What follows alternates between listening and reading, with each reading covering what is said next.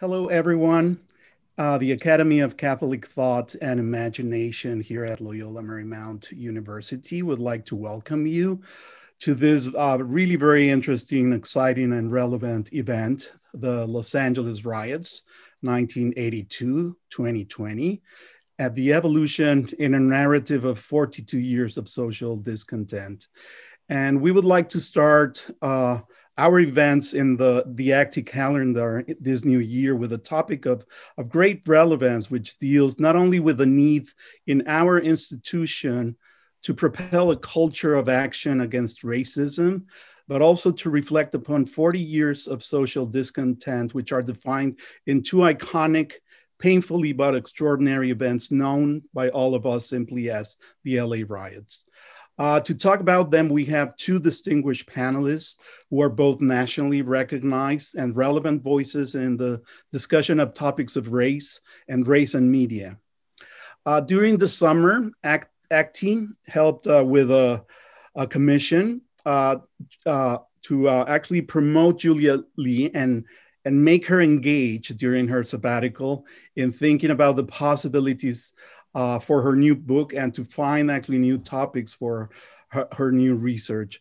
So the ACTI Commission was only called at that moment the summer of 2020 with all its connotations and implications. And hopefully that at least that is our wish at ACTI. Hopefully this commission actually probably influenced uh, Professor Lee uh, with the idea of actually researching around the LA riots. Julia came back with the idea of writing her new book, and she said that she will based on the LA riots and her personal experience as a woman and as a mi minority. So Julia Lee is an associate professor of English at Loyola Marymount University, where she teaches African American and transatlantic literature. She is the author of Our Gang, a racial history of the Little Rascals from 2015, and The American Slave Narrative and the Victorian Novel from 2010.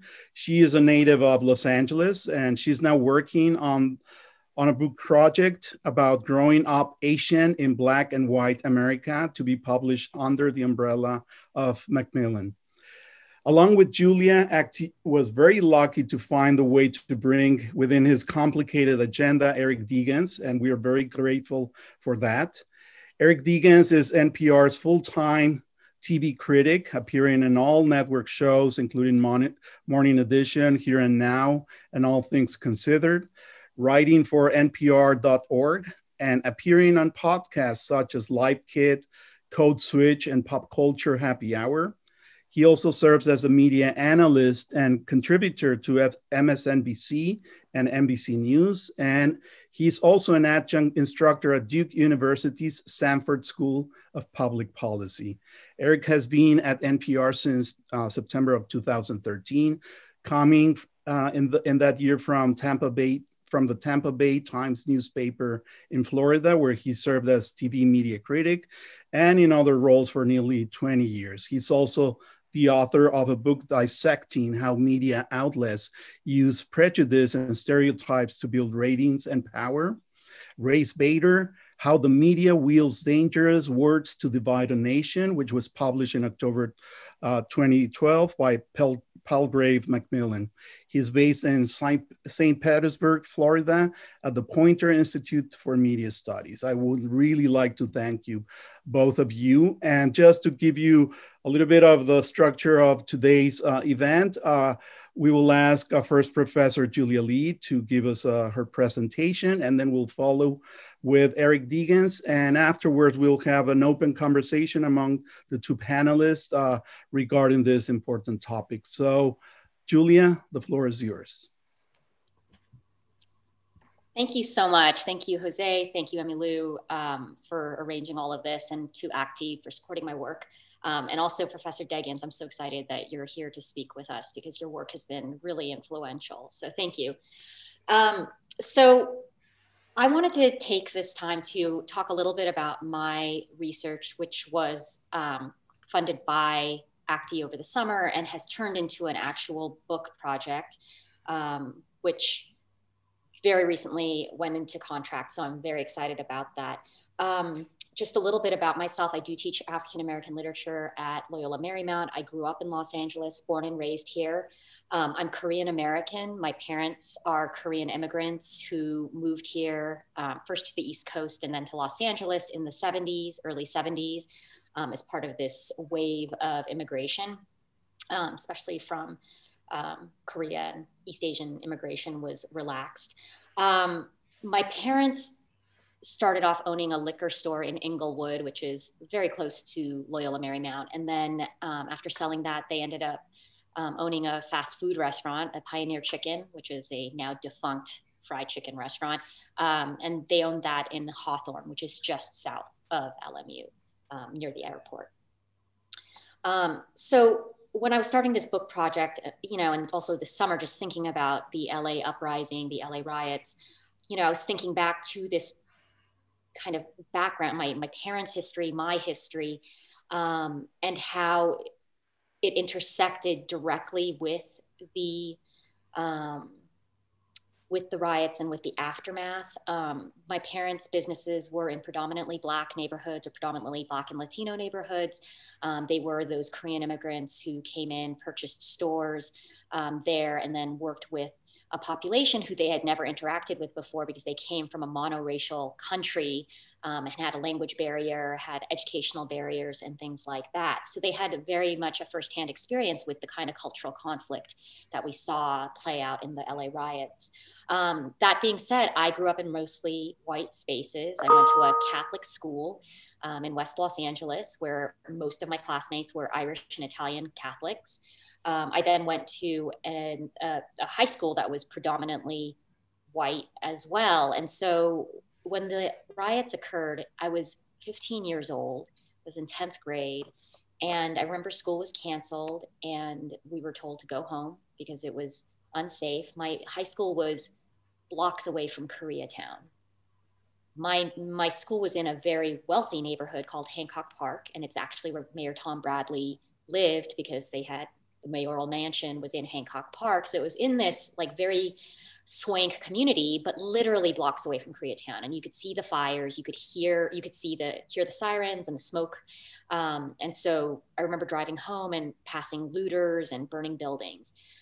Now, I don't have very clear memories of that time. What I remember is probably what all of you remember, which is what you saw on television. I mean, those are the images that are burned in my mind. Um, and it was only recently when I was interviewing my parents that I know that they came, they closed their store early. I know they came home. I know that they were terrified that their store was going to be looted. I know that there was so much pain and anguish over Soon Ja Du, who was a Korean immigrant shopkeeper, basically the exact same age as my parents, very similar background. My mother is almost the same age as Soon Ja Du. And Soon Ja Du was a Korean shopkeeper who accused a black teenager, Latasha Harlins, who attended Westchester High School, which again is, I mean, LMU is in Westchester. Um, and she she was falsely accused of stealing a bottle of orange juice by Soon Ja Du. And when Soon Ja Du tried to grab her, she pushed her back, and then Soon Ja Du shot her and killed her over a two dollar bottle of orange juice. And this was considered one of the triggers to the riots, along with the beating of Rodney King and the um, the fact that his four white officers who beat him were let off. Um, those two were considered the two triggers for the riots. So here I am where I see my parents' anguish because they are afraid that their business is going to burn down. And they felt that the police were not there to help them or defend them. They had the Korean radio on the entire time.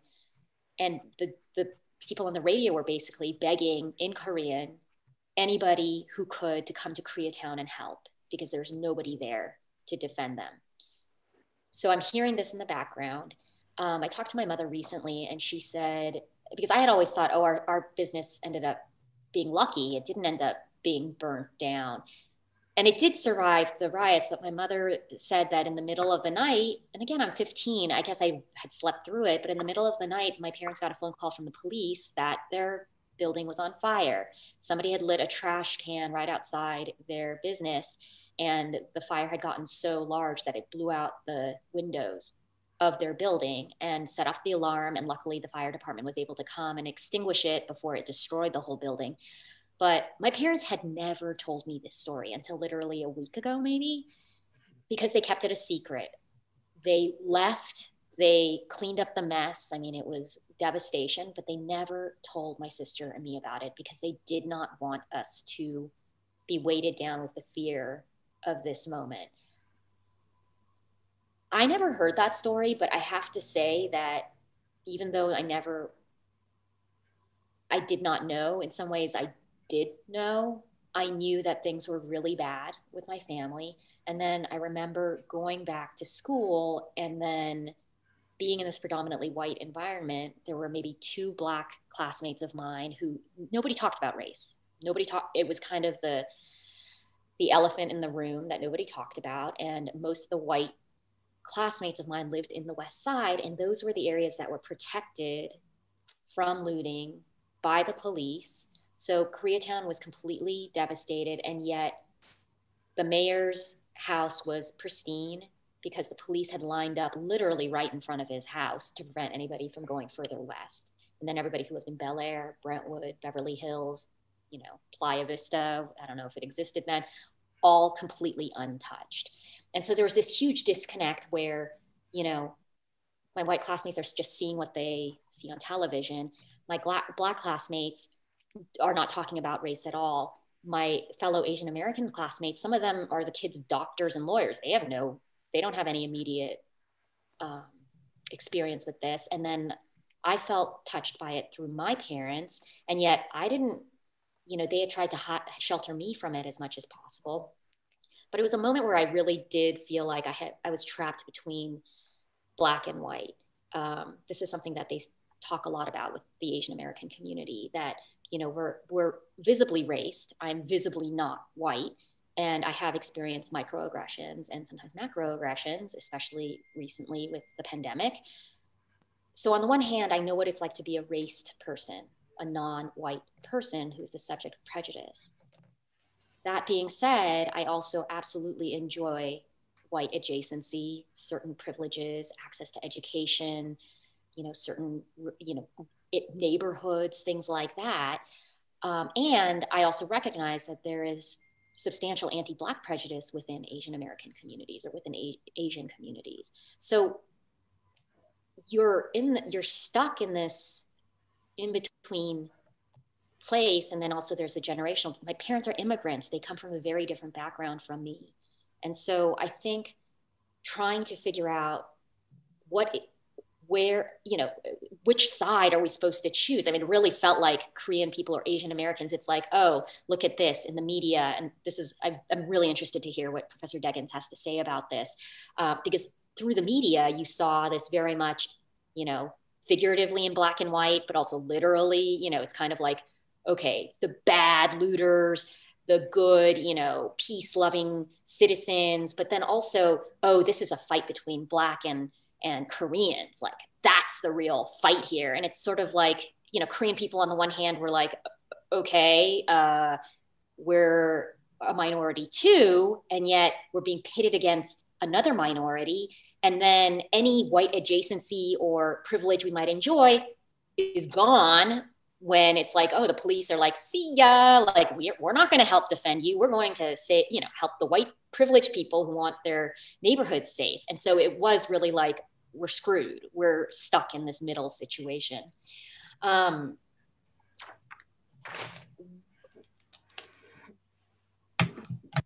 just this is just an aside, but it is something that I'm also interested about with the um, with the question of media representations, which is that, you know, the media, especially when it comes to race, they're, you know, the, ratings, getting eyeballs, et cetera, et cetera.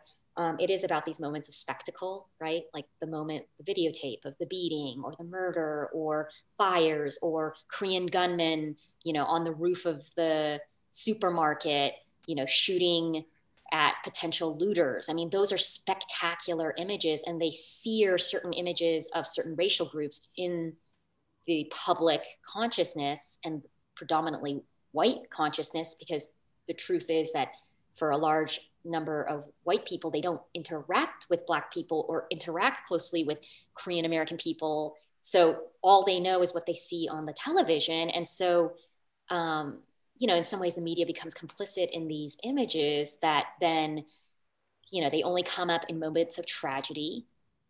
They paint a kind of limited picture of these racial groups. And then they turn us into kind of stereotypes or flat figures. I mean, the reality is that, you know, Black life isn't all about suffering. It's also full of joy and humanity. And Korean people aren't just, you know, vigilantes with guns and, you know, they're, they're actually kind of complex too, but we don't see those images. There's so few of them available to us. Um, so basically, the book that I'm trying to write is providing some of those memoiristic elements, but then really trying to think of it, um, kind of critique it um, do a cultural critique of it and just look at the ways in which the black and white binary oversimplifies and it dehumanizes all non-white groups. And i absolutely believe that asian americans must be allies with their black friends colleagues um, fellow people of color. It is not an either or thing at all. In fact i think that is basically the work of white supremacy. You know it's i mean the work of white supremacy is having it distilled to a black korean conflict that no the the the, the overriding concern is that we live in a society in which most of the resources are taken up by one particular racial group white people and then everybody else is relegated to the margins and then they have to duke it out with each other over their one small sliver of the pie. And i think we really have to change our perspective there it's about wanting more of the whole pie, not just fighting for the crumbs.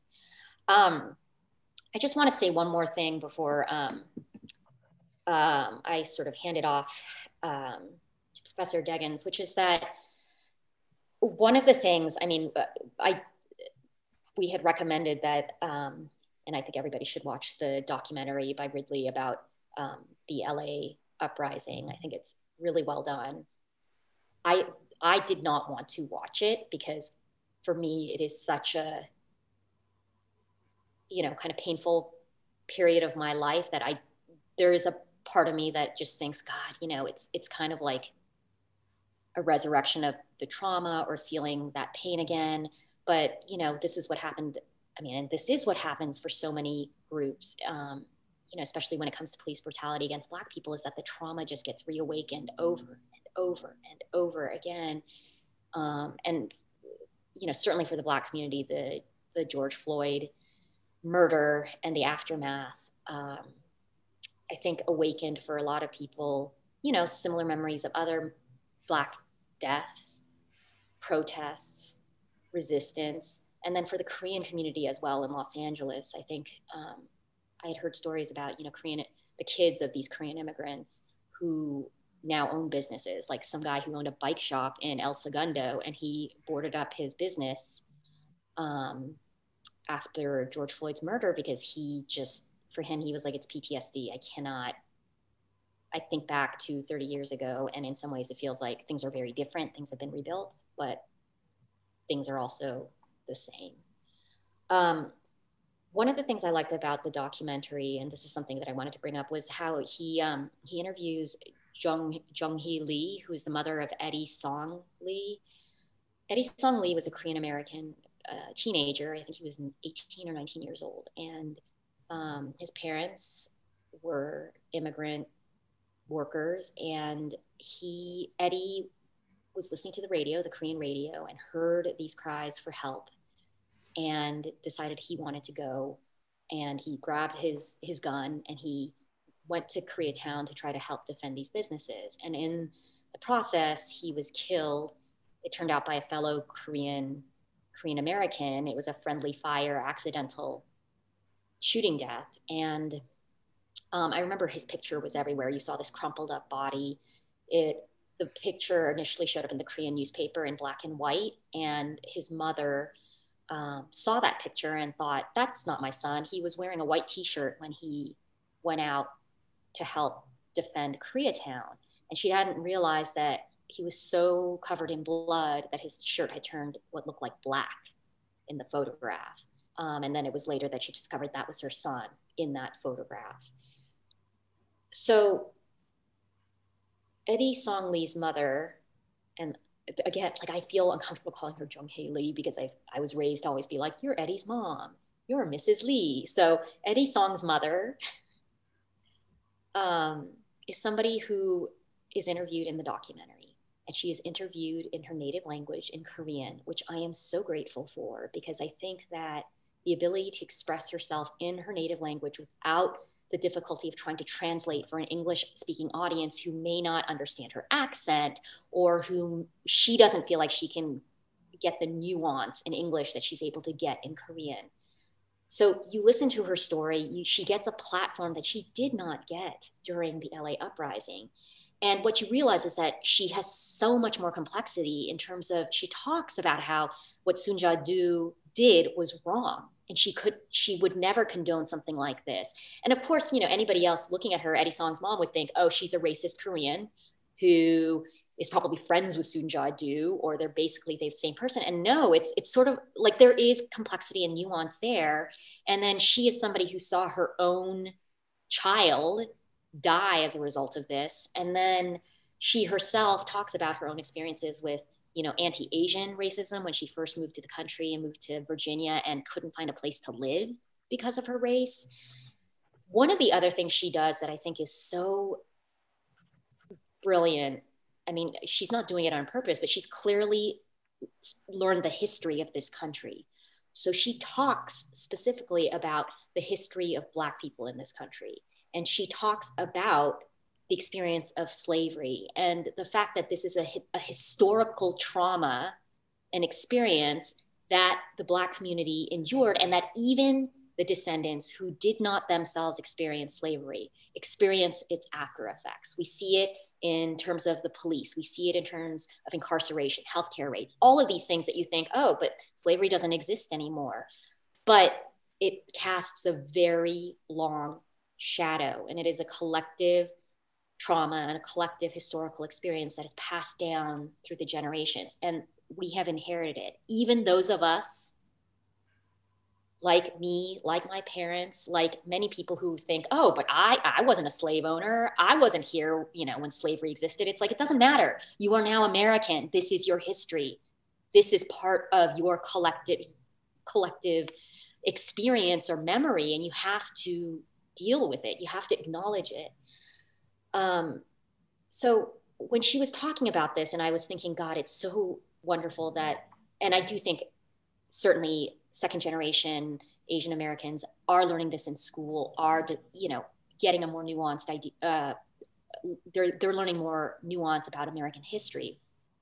But when she was talking like this, I was thinking a lot about the about the experience of trauma from the Korean American perspective, and this is something that scholars have discussed about the Korean American community, that the LA riots for them was their moment of like, welcome to America. You're American now. It's like, and you think about how tragic, you know, baptism by fire, like terrible, kind of like, welcome to racist America. Welcome to your place in the hierarchy, the racial hierarchy. Welcome to the fact that, you know, you might think you can aspire to whiteness, but just kidding. Welcome to the fact that you are implicated, you are complicit in anti Black racism. You don't get a get out of jail free card because you just happen to be born abroad and you know you don't know anything about Black history. No, none of that is true. So it becomes this moment of real psychological reckoning.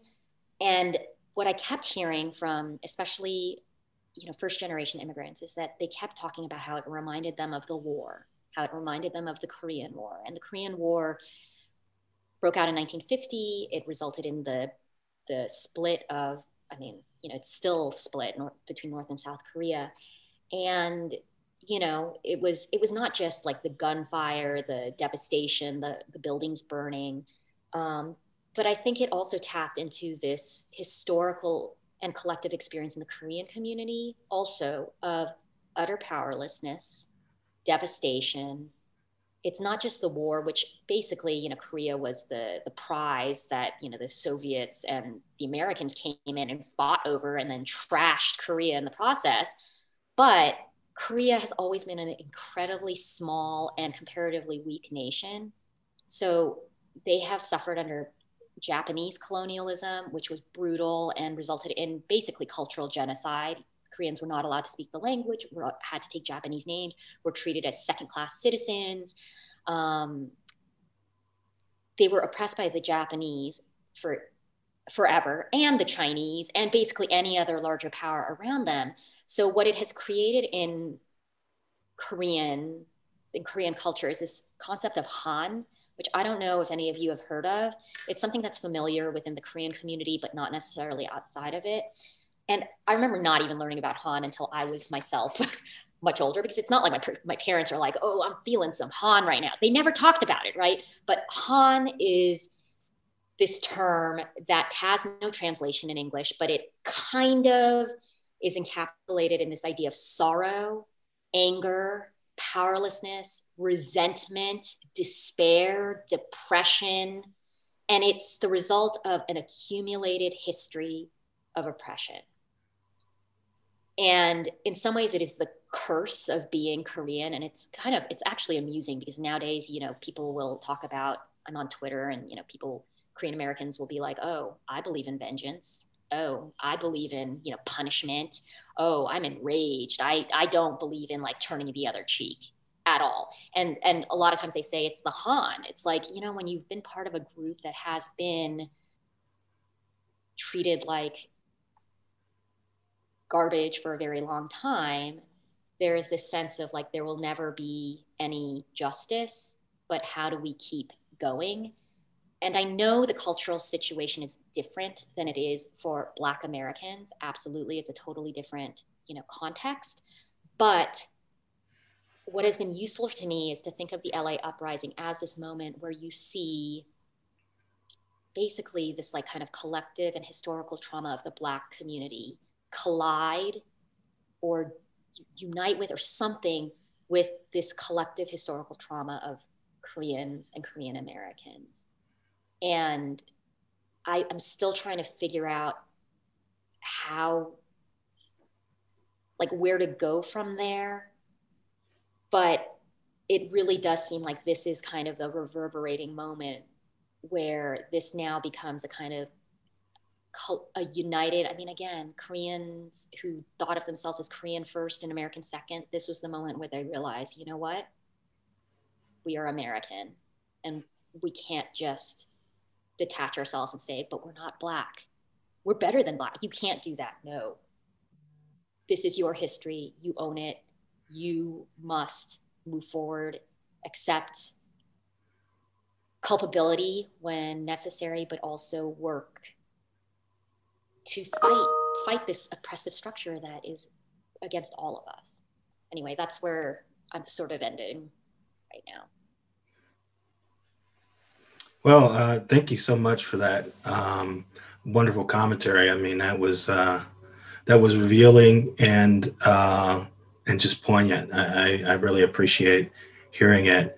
Um, from my perspective, I had a very different um, intersection with the LA riots or the uprising or whatever people want to call it. Uh, when it originally happened, uh, I was on the other side of the country. I was in Pittsburgh um, working my first job as a reporter for the Pittsburgh Press newspaper. And the NAACP organized a march through the middle of the city.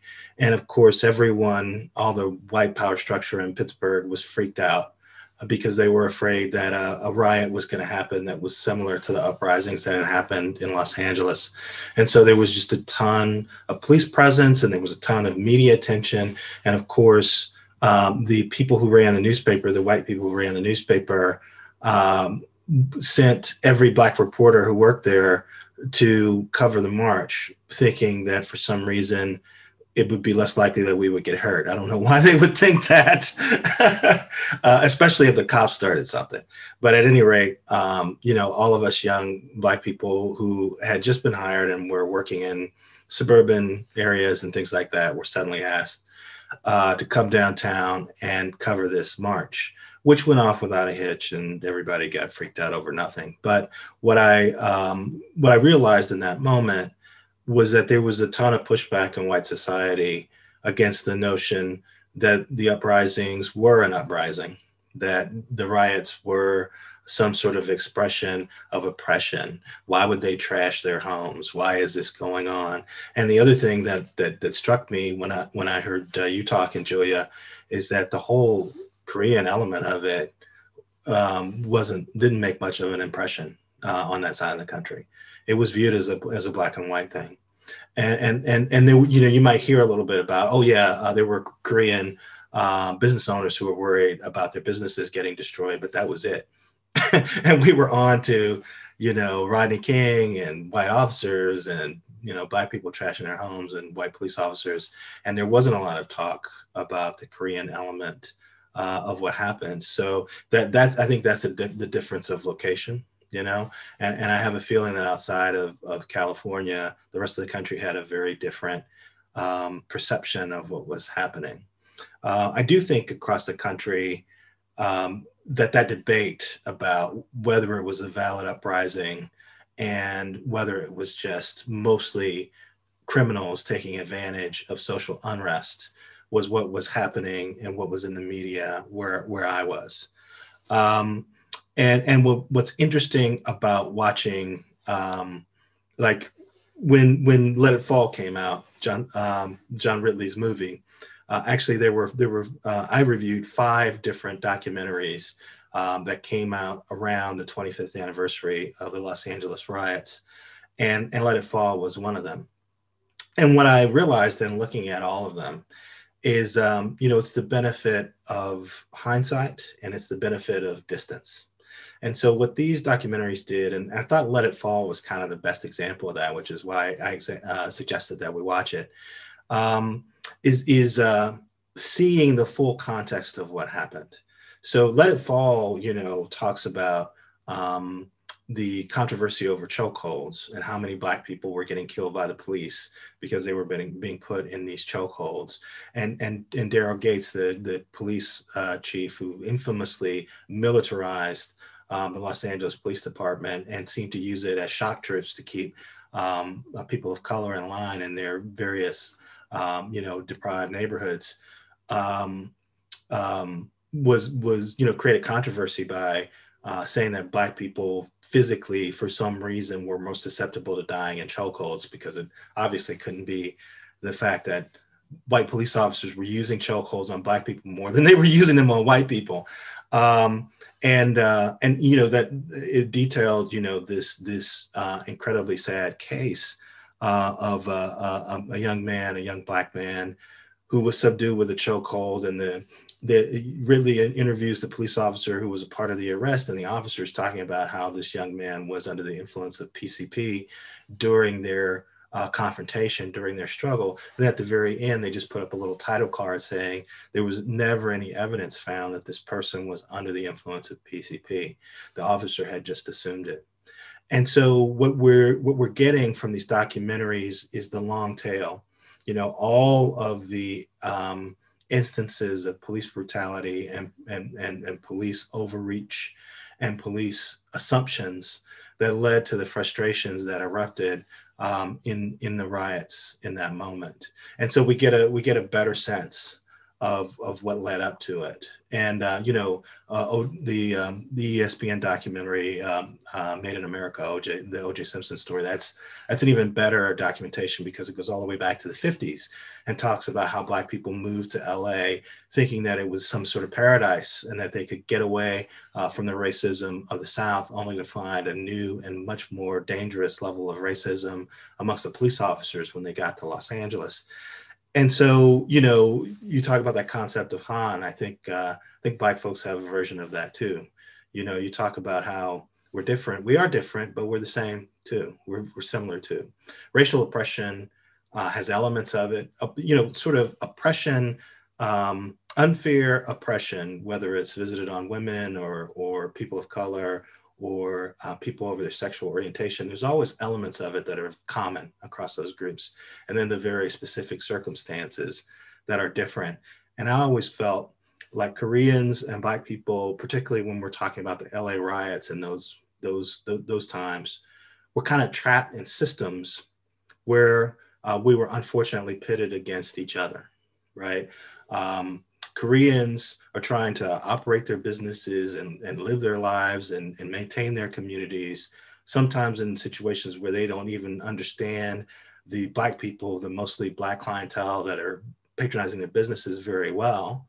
And, and Black people are in these communities that are deprived and they're going to these businesses and they're saying, you know, why are these people taking money that I don't? I don't understand these people. I don't understand their culture. They're taking money out of our community and they and they're treating us with suspicion.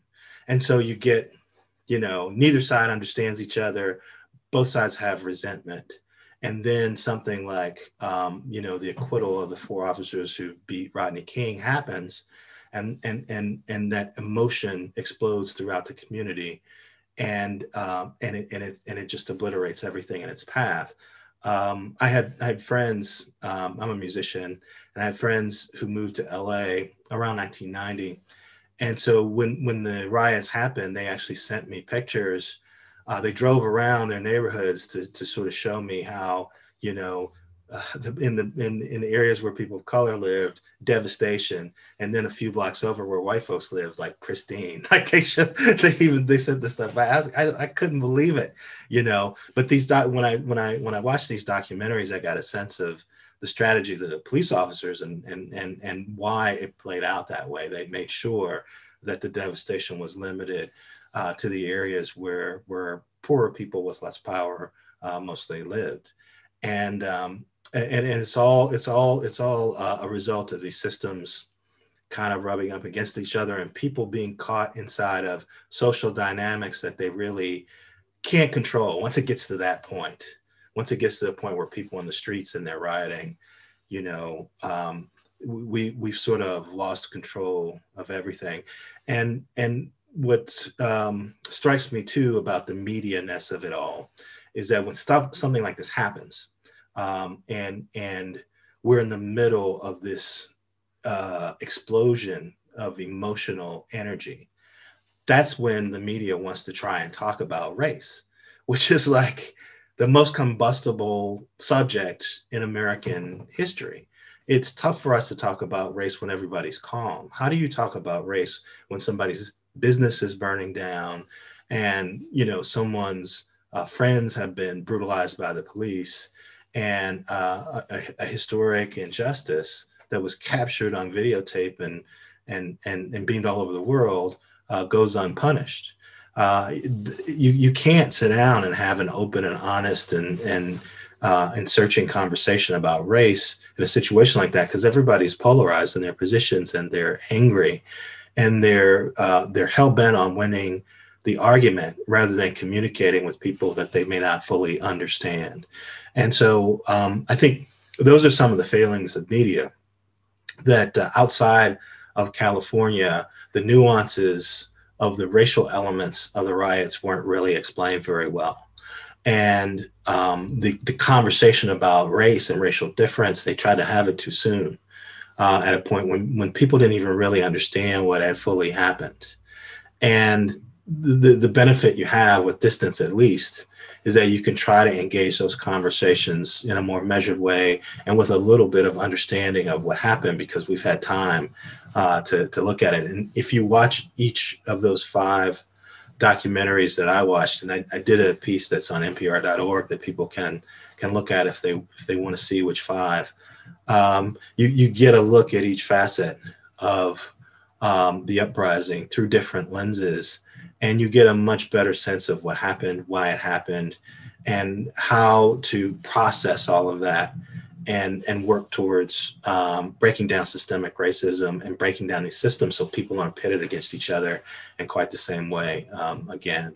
So that's that's sort of uh, that's sort of my uh, take on on uh, what happened. That's great. Thank you so much. I have so many questions. Sure. So, you know, I did you uh, hear about the LA Times recently uh, came out? Apologize for racism.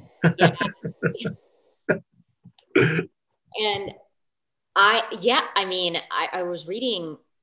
I mean, the LA Times has such a problematic history, right? And um, and they still are dealing with uh, a staff, you know, a group of reporters, editors, and all the management that is still very much not reflective of the diversity of Los Angeles. I, I have several friends at the LA Times who are fighting that fight. So yeah. Oh my, yeah, and you know, and and they did interview this. I mean, I thought it was really powerful, but they interviewed a black reporter who had been tapped to report on the riots because they were sort of like, oh, we don't have any black reporters. Hey, you from you know working on the Sherman Oaks desk, why don't you come over and, and, and go? Do you remember the name of the reporter? Was it Greg Braxton? I yes. Yeah, yeah, no, Greg.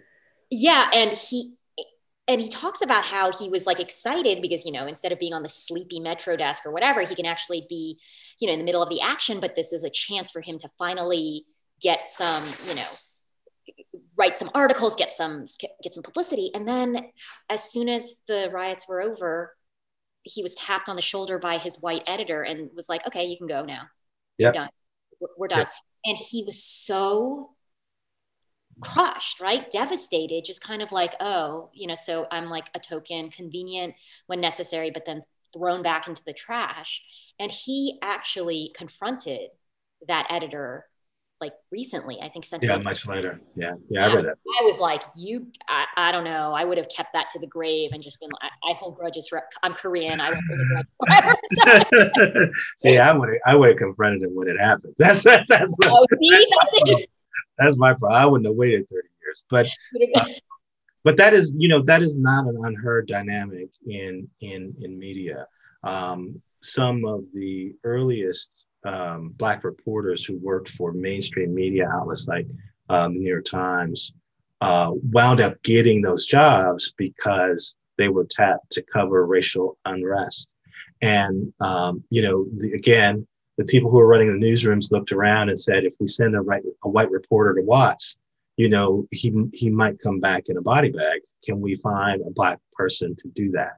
And so, um, so a lot of um, uh, black people who might have been working in marketing or might have been even pushing a broom, but had, you know, aspirations to be journalists or might have been copy boys or whatever, you know, got opportunities to become reporters uh, to help cover racial unrest. And indeed, you know, the genesis of the National Association of Black Journalists came about because those early journalists realized they needed a group to advocate so that when um, the, the emergencies passed, um, you know, uh, Black journalists could could could be recognized for the work that they did and, and actually become journalists and not be, um, you know, forced to go back to uh, wherever they had been, uh, you know, summoned from uh, and be allowed to pursue journalism careers if that's what they wanted.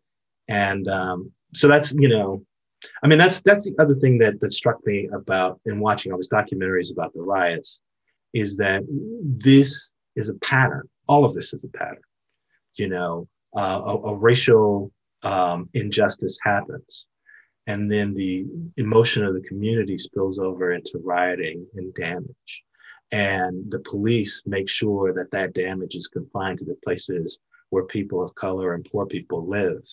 And the media tells the story in a way that is often one-sided and often favors uh, the powerful. And then a few a few years later it happens again and and so um, part of understanding that it's a cycle um, means trying to understand how can we redirect that energy so that um, when that response comes to the injustice that it is that that more is achieved and that less destruction is created. And i don't think we've even gotten close to that yet. Um, but we got to recognize now you know after michael brown after freddie gray after uh, george floyd you know the cycles are getting tighter and tighter and uh, and there's got to be a way to to um, to find progress on racial issues that doesn't involve poor people uh, burning their homes down. I mean, the you're at NPR and you have been at NPR for seven years, I guess it is. Yeah. Mm-hmm.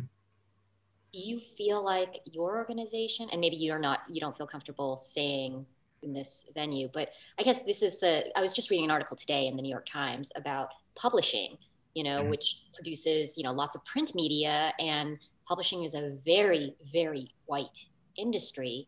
And so they were tracking it. And it's like, you know, every time there's some sort of racial uprising and people suddenly think, oh, I need to learn about this, you see a spike in the sales of books by Black authors. Right. But as soon as this moment passes, then it's like, okay, now we're back to just, you know, 98% white authors on the bestseller list. And so, how much of this do you think is just another passing fad, you know, part of the pattern of like peak of interest, you know, in the way that the media covers it or in the way that publishing decides, oh, we're going to push out these books and sell them. And then it just dips. And then. Right. Well, you were, you were going to ask me about NPR. And I yeah. will say that I, I do think that there are a lot of people at NPR who do who are trying to get right on this issue, and we're in the middle right now. I think of a process where um, you know management is trying to diversify, and there are very committed people uh, amongst the staff who insist that they make progress. And um, you know, uh, I, I, was telling somebody the other day, you know, um, I, I come from newspapers, and I'm older. So uh, when I came to NPR, uh, the newsroom was 22% non-white. Now it's up to 30%. That is by far the the most diverse newsroom I've ever worked in in my life. Uh, most of the time, I've been in newsrooms where the percentage of non-white people, all all non-white people, um, was like 13%, 15%, something like that. Right. So you know, NPR is twice the diversity of any other place I've worked. But the younger people who come in are like, you know, non-white people are 40% of the population. We're not going to rest until national public radio reflects the diversity of the public. And I'm like, hey, I'm with you, you know. And so um, we're pushing for that. And we have employees who will not rest until it gets to that point and, and will have no hesitation to call out management if they fall short and have been calling them out. You may have um, have seen that our, our union put out a very strongly worded statement about what NPR needs to do in order to get right. Um, but we should note that NPR has much more diversity in its newsroom than most newspapers. And uh, w- what strikes me about this is that it's, you know, treating this as an episodic thing is part of what perpetuates the pattern, right? If you don't constantly talk about racial issues and explore them every day in your coverage, then you are helping create a system, a situation where people feel like they have to burn their neighborhoods down to get national attention. And then the pattern reasserts itself again. So part of breaking down that pattern is making sure that we have regular coverage of racial issues all the time. I mean, if you turn on a local TV newscast, um, they will have a report on the stock market. It may only last about 30 or 40 seconds. But every day they're telling their viewers how the stock market is, is doing. Basically, they're telling their viewers how the 1%'s money is doing, right? As, as some sort of indication of the economic health of the nation, uh, which it isn't. But uh, we need to find a way to constantly check in on the racial and social health of the nation every yeah. day. How do we how do we reference this every day? And one way you do it uh, you know, some of these networks have created units that are devoted to uh, reporting on race. And, and I hope that what they're going to do is create regular reporting that talks about racial issues. And I hope they won't spend a year on some mega project that comes out once. And then they spend another year working on another mega project. And those are wonderful things and they're often very needed. But then that perpetuates the pattern, which is you know, we find some huge scandal and we kind of lay it on people and it's all rooted in race and everybody gets upset. And then you try to talk about race and it's even harder. And then we, we don't talk about it that much again until the next emergency comes around, until the, next expose comes around. And, and what I found sometimes is that my audience is trained so that when I mention race sometimes in stories, they perceive it as if I'm making the story all about race or if I'm trying to talk about some scandal or some calamity connected to race, even when I'm doing a story where the you know race is a tertiary subject And I'm not even trying to present it in a scandalous kind of way. It's like the audience has been trained that that's how we talk about race when when something awful's happened and now it's time to get alarmed. And we got to break that down if we're going to break the pattern. Absolutely, because I, you know, what what I often think about is how racism it. I mean, you know, people like to think, oh, that was a racist in, incident if somebody shows up in a KKK hood and like burns a cross on somebody's lawn. But racism is also just the incredibly mundane daily experiences and the accumulation of that. And it might not make for as, you know, spectacular story, but it's more indicative of the kind of daily pressures or the daily stressors. Yep. What is the demographic breakdown of the NPR, the actual listening public? Hmm. Uh, what depends? Like our audience uh, on the radio is uh, wider and older than our audience uh, on podcasts, and and and then we also have a huge digital audience uh, that's um, reading the website and and reading uh, sort of print stuff that's attached to the website. So we so we have a few different audiences. We have the audience that comes to our website. Uh, we have the audience that comes to our podcasts, and then we have the audience that comes to our radio and audio products, especially our broadcast, uh, our flagship broadcast shows. So all so each of those audiences is a little different. And as you get more, as you get closer to, to, to digital technology, they get younger uh, and they get more diverse. Yeah. No, I have to say, I mean, I'm I love Code Switch. I think that is such a great, oh my gosh, great podcast. Um, the other thing that I've noticed, because you know NPR is famous for that NPR voice. Yeah. But I have to say that they're they are now kind of breaking out of this standard English, you on, know. On purpose. That that has been a, a love it. I'd say about I'd say when I started working at NPR, that's when we started having discussions about what the NPR voice is and how that marginalizes some people of color. Absolutely. Um, I do I do think that we still um, have a ways to go with accents. You know, some someone who has a heavy um, you know, accent connected to speaking Spanish or speaking French, um, you know, I think they might still have a hard time getting uh, regularly featured at NPR. But, um, you know, we do have a lot of people, I wouldn't say a lot, we do have some people at NPR who have, you know, um, pretty prominent jobs on the radio pretty regularly who don't fit that stereotype of the radio voice.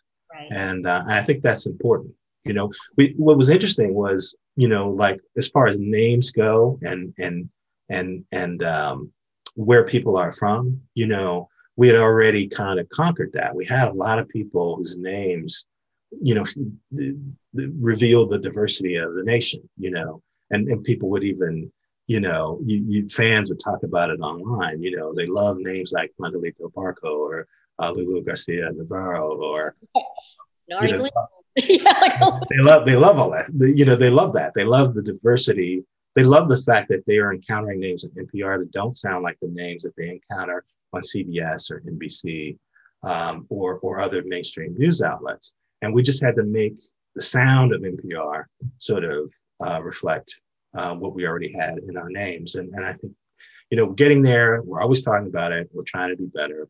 Um, and uh, and it's it's a struggle to break down some people's attitudes about that. Um, but but uh, but we're we're trying. I think that's great. That's awesome. yeah. I, you know it, it it it you know, I mean, what's interesting too. You know, you talk about systems and you talk about how how legacies work. And i think that that's so important in understanding why this stuff happens the way it does and why people seem to be so clueless sometimes about why things are happening or why there's tension or uh, you know why an uprising breaks out and then why it gets covered uh, the way it, it, it, gets covered and and and part of my struggle as someone who's tried to be an advocate for diversity in newsrooms and trying to talk about racial issues is i'm constantly going to the people who cover news and you know the people who control newsrooms and saying you know, you got to understand what's going on here. You know, you, one one of the things I talked about uh, again in another presentation was that when I started out you know, I, I start my first professional job was in 1990. Um, a couple years before that, I was a cops reporter for the student newspaper at, at Indiana University. And part of my job was to go down to the police headquarters and look at the arrest log and copy down the information. And then we would run these little blurbs in the newspaper saying who got arrested and what they got arrested for. Right.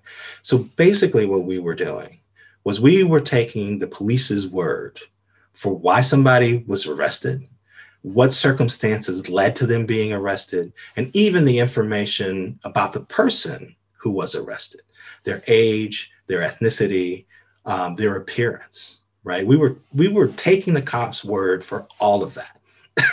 and and and and the the School of Journalism at Indiana University was training journalists to do that. And now we realize, you know, uh, after many years and after much protesting about police brutality, that that's terrible journalism and that um, the, the, the police blotter should be a starting point. It should never be um, the the it should never be considered verified fact just because the cops hand it to us. But it's taken a long time for journalists to get to the point where they're willing to say, okay, uh, just because a, uh, a police document says something, that doesn't necessarily mean that it's true. And that doesn't, and it certainly doesn't mean that we should tra- train our audience to accept what the cops say is true by taking stuff from a police blotter and throwing it in the newspaper and serving it up to them and saying that's journalism.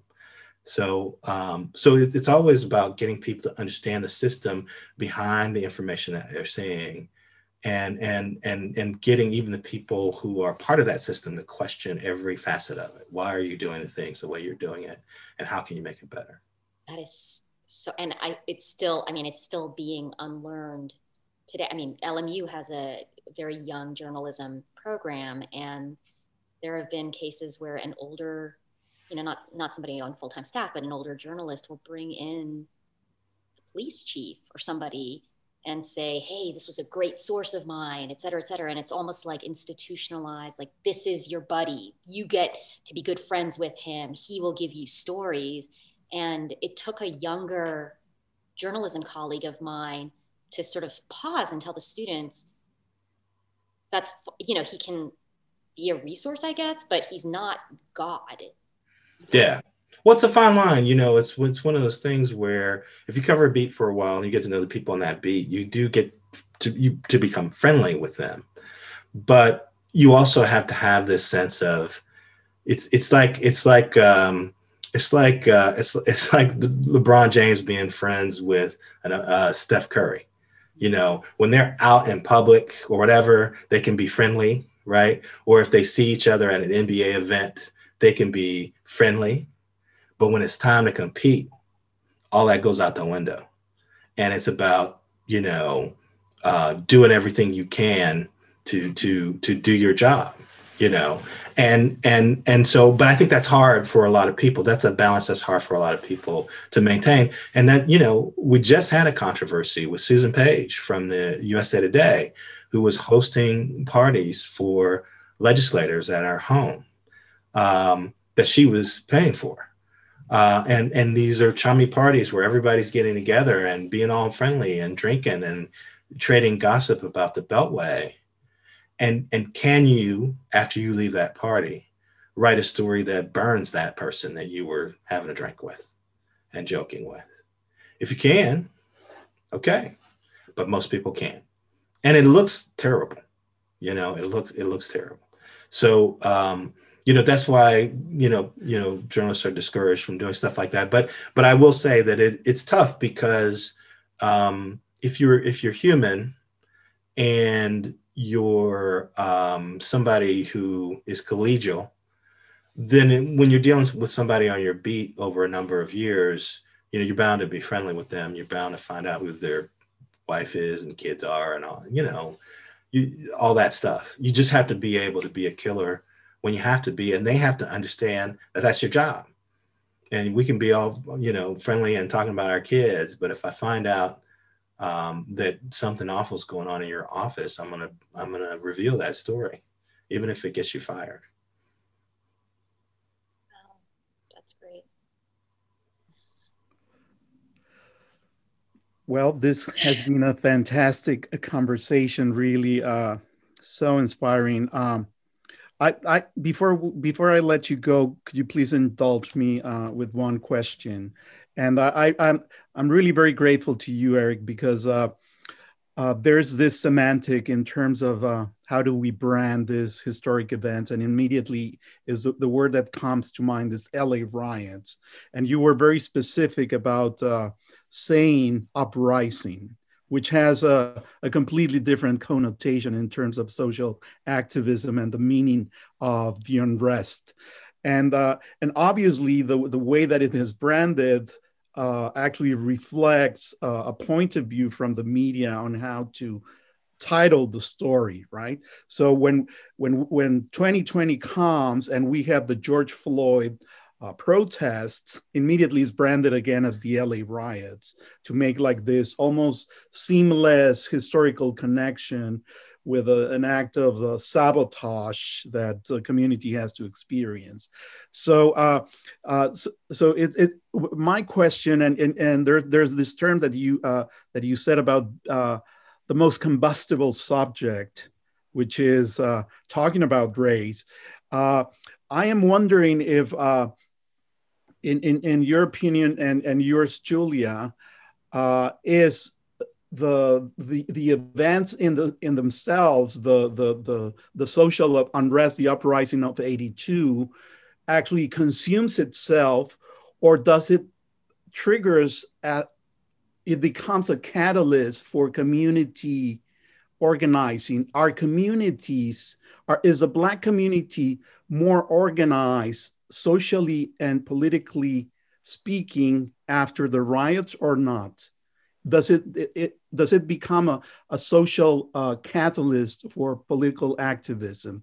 Is there is, is there a logical response in terms of that? And is the the Korean community more politically active after the uh, after the riots or the uprising of 82 is there is there a, is there a, a consequence in those terms Julia, yeah, I feel like I've been talking a lot. yeah, I, I mean, no, it's super interesting. I mean, what I I think that for the Korean community, it was the moment where it was like you can't just stay on the margins or stay on the sidelines and just be like, I'm not involved. I'm not, you know, it's not my fight. Whatever.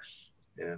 It, it was really a kind of moment as well where the Korean community was like, wow, we have to get invested. We have to get involved. We have to do that work. Um, you know, I think there's some thoughts that maybe some immigrants felt like they were just going to, sh- you know, come here for a few years, make a lot of money, and leave. And that was a moment where it was like, no, we're here to stay. You know, our children are born here. We are here, and so we must invest in things like political activism, representation.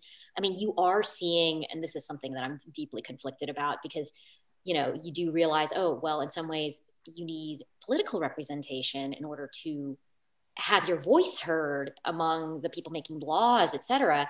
And what you're seeing, and I find this fascinating, is that I think there were three Korean American women who were um, recently elected to office, and two of them are Republican, and one is um, a Democrat. The Korean American woman who's a Democrat is half Black, half Korean American, and she is a second generation. I mean, I think she was born here. Um, but the two Korean American women who are Republicans are first generation immigrants. They were born in Korea, and I think they have a very different idea of like race and you know, what it means to be Asian American in this country and um, sort of the values that they espouse than this woman from, I think it was Seattle, maybe. And so I think within the Korean community, I mean, it's not like one political block. There's a lot of, I mean, just like with any group, you know not all black people vote the same not all you know not it's there's lots of subtleties there but in the korean community i really think it does break along generational lines particularly hmm.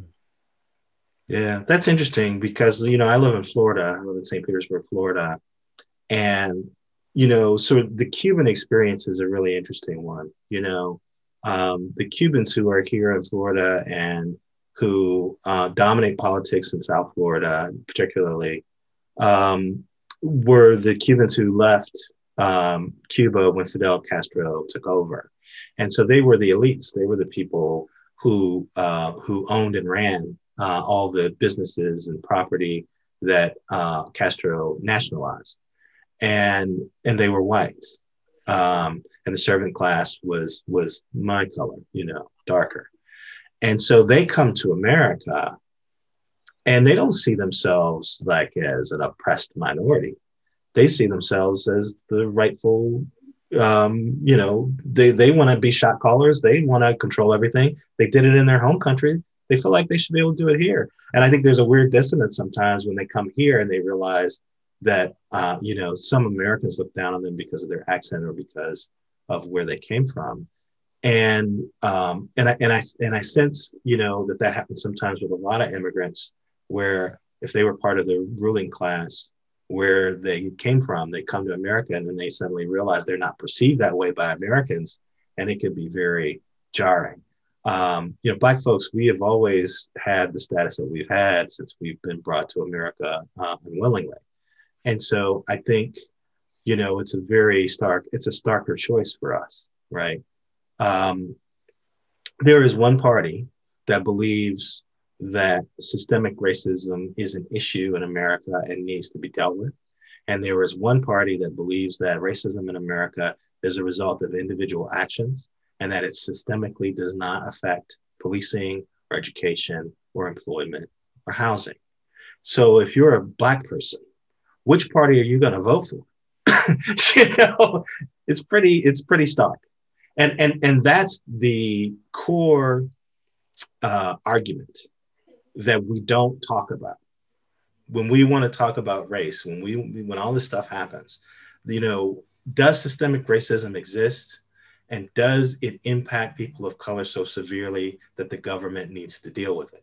That's the core of questions about immigration, questions about affirmative action programs, questions about police brutality, questions about diversity and education. It's at the core of all of that stuff, but we never talk about that. we're, we're always talking about the symptoms and we never talk about you know the core um, dysfunction um, so I think that's part of the problem. But I also see that every time this pattern repeats itself, the people who are involved in the pattern react differently because they have learned, particularly in recent years. Activists know that the response to an injustice will be judged by the destruction of that response. So there was a concerted effort in the wake of George Floyd's death to try and keep the protests nonviolent and to try and, and, and keep them from damaging where the protests took place. And, and you and you found that you know we had this pattern where the damaging you know the the rioting didn't really break out until nightfall came and it was hard to see who was starting stuff and of course there were allegations that there were provocateurs who were coming in and you know breaking windows and things like that to try and start trouble even though they weren't part of the people who, uh, the Black Lives Matter protesters or the anti-racism protesters. And of course, you know, you could also assume that some criminals would use the cover of darkness as a way to, um, you know, uh, loot a store because they wanted the stuff that was in the store. You know, and, and that's always been a problem is that when when this emotional intensity breaks out and you have a riot slash uprising, some people are uprising and some people are rioting. you know, so uh, you know, I don't completely blame the media for using that term because both things are happening at the same time, and it's hard to figure out who's doing what or why it's happening. Because, like I said, once that tiger's out of the cage, it's just it, it's bedlam, and and and it's hard to tell why something is happening. And even the people who are doing it may not fully understand why they're doing what they're doing. Um, but I think um, people, especially now, are very aware of um, this pattern and how to try and manage it so that they can get what they want out of it. Uh, so the the police know that they have to limit instances where they are seen, um, you know, beating up on people with no reason. Mm-hmm. The activists know that they have to try and keep the protests nonviolent so that they don't get accused of uh, encouraging lawlessness. Um, the the people who don't believe in systemic uh, racism realize that their goal is to scare the general population into thinking that the people who are protesting police brutality don't want any police to exist and, and, and get them afraid of what's going to happen if the police are unfairly held back. Everybody's understanding how to spin this situation and it all gets engaged uh, when, the, when the protests start. And we saw that happen this year uh, in the wake of all these George Floyd protests. And we saw Black Lives Matter, like, like the approval of Black Lives Matter goes up. And then when we got closer to a presidential election, it went down. Once, once, once conservatives figured out how to scare white people about Black Lives Matter, um, they were able to pull down that approval rating and, uh, and, and, and, and rob the group of its support. And that's another reason why this pattern reestablishes itself. You know, you have um, an incident happen and people, people's eyes get uh, uncovered. And then there's a backlash. Yeah. There's a, there's a backlash, and some people get convinced by that black by that backlash, and and and the backlash might be, um, you know, uh, unfair criticism of Black Lives Matter, or it might be the candidacy of Donald Trump. But uh, but the backlash comes, and it always convinces some people to change their minds back. Thank you, um, Julia. Any uh, last words? No, I think this was a great great discussion. I learned a lot, and I'm really yeah, I thought it was awesome. Yeah, thanks for having me. Thank you, uh, Eric. Thank you, Julia. Thank you, Emmylou. Uh, so, um, just for our viewers, uh, the the uh, the web page is going to contain some external resources, as uh, for example, Eric just mentioned some NPR.org uh, link that it's useful information along with other things that are going to be living in our website. So thank you again, everyone, so much for this engaging uh, conversation. I hope to uh, have you again soon at some event in ACTI. Thank you again. Pleasure. Bye, everybody. Bye.